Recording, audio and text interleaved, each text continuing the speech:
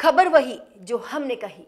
आप देख रहे हैं न्यूज़ ब्रॉडकास्ट 24 नमस्कार, आप देख रहे हैं न्यूज़ ब्रॉडकास्ट 24 मैं हूँ आपके साथ अंजू घाटी जीएसटी में लगातार मिल रही खामियों को दूर करने के लिए तीन दिवसीय प्रशिक्षण कार्यक्रम गुरुग्राम में आयोजित किया गया। इस कार्यक्रम में जीएसटी काउंसिल से जुड़े अधिकारियों को बताया गया कि वह कैसे ऑडिट और स्कूटनी करें। जिससे सरकार का रेवेन्यू बढ़ सके। तीन दिन तक चलने वाले इस प्रशिक्षण शिविर में पहुँचे अधिकारियों ने जीएसटी काउंसिल के आयुक्त के सामने अपनी समस्याओं को रखा और उनके निदान का हाल भी जाना। जीएसटी काउंसिल के आयुक्त की माने तो अभी कुछ बिजनेसमैन फर्जी तरीके से कंपनी बनाकर जीएसटी में गड़बड़ी को अंजाम दे रहे हैं। ऐसे में कुछ मामले पकड़ में आए हैं। इसके लिए ऑडिट और स्कूटनी को सही तरीके से अंजाम दे, दुरुस्त करने का कार्य किया जाएगा।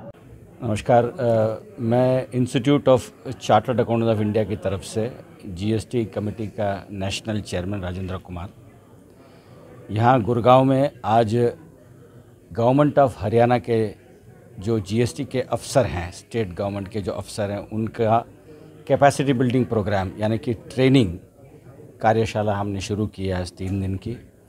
ये हमारी कमेटी की तरफ़ से सारे स्टेट्स ऑफ़ इंडिया में हम कर रहे हैं, ताकि जीएसटी में स्टेट अफसरों की जो ट्रेनिंग हो वो अच्छी तरह से हो, और इस ट्रेनिंग की वजह से उनको लाभ मिले कि वो आगे चल के ऑडिट में और स्क्रूटनी में अपनी अच्छी सेवाएँ स्टेट को दे सकें, और इसकी, इस ट्रेनिंग के माध्यम से वो स्टेट गवर्नमेंट का जो रेवेन्यू है जीएसटी का जो रेवेन्यू है जीएसटी का जो जो गवर्नमेंट को पैसा मिलना चाहिए वो भी बरोबर मिले और जो गवर्नमेंट को सही तरह सही तरह तरीके से जो पैसा मिलना चाहिए सही तरह तरह से मिले।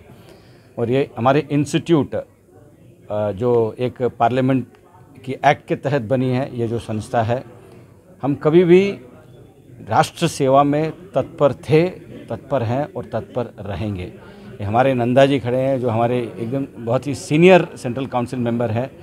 उन्होंने अपने कार्यकाल में बहुत सारे ऐसे ट्रेनिंग प्रोग्राम देखे हैं और ये कुछ जो शब्द कहेंगे। मैं सिर्फ़ ये कहना चाहूँगा कि Institute of Charter Accounts of India अपने सोशलिस्टिक परस्पेक्टिव में सदैव तत्पर है।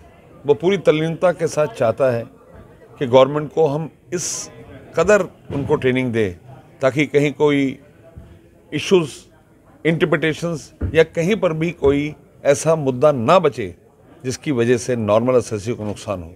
हम चाहते हैं कि सही तरीके से टैक्स का आकलन हो और टैक्स की वसूली हो। इंस्टीट्यूट हमेशा कटिबद्ध है कि जितने ट्रेनिंग प्रोग्राम अपने मेंबर्स के लिए ऑफिसर के लिए कर सके ताकि सब्जेक्ट में जितनी क्लैरिटी हो, उतना देश के लिए, देश की अर्थव्यवस्था के लिए बेहतर है। शुक्रिया।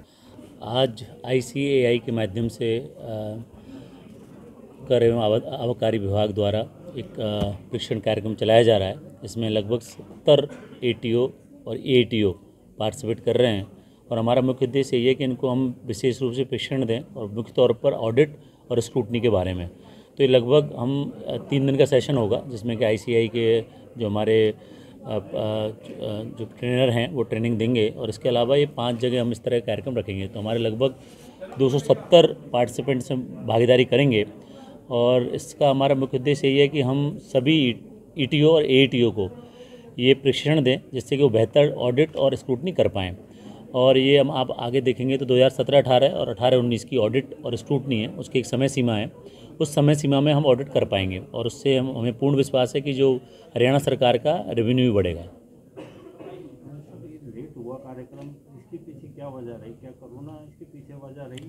देखो जहाँ तक प्रशिक्षण का सवाल है समय समय पर हम करते आए हैं और ये आईसीआई के माध्यम से अब कर रहे हैं बट इसके अलावा भी हम अपने स्तर पर, हिपा के हिपा के माध्यम से या ब्रिटिश काउंसिल के माध्यम से हम समय समय पर प्रशिक्षण कार्यक्रम करते आए हैं। और वो लगातार एक हमारी सतत प्रक्रिया है, उसमें कोई व्यवधान नहीं हुआ। जब कोविड आया तब भी, भी ऑनलाइन हमने क्लासेस करवाई जिसके माध्यम से किसी प्रकार का व्यवधान ना आए। और आगे भी इस तरह के प्रशिक्षण कार्यक्रम लगातार चलते रहेंगे। ये नहीं है कि ये अंतिम कार्यक्रम है ऐसे कार्यक्रम लगातार चलते रहेंगे जिससे कि कैपेसिटी बिल्डिंग सभी अधिकारियों की हो पाए। आ, देखो जीएसटी हाँ।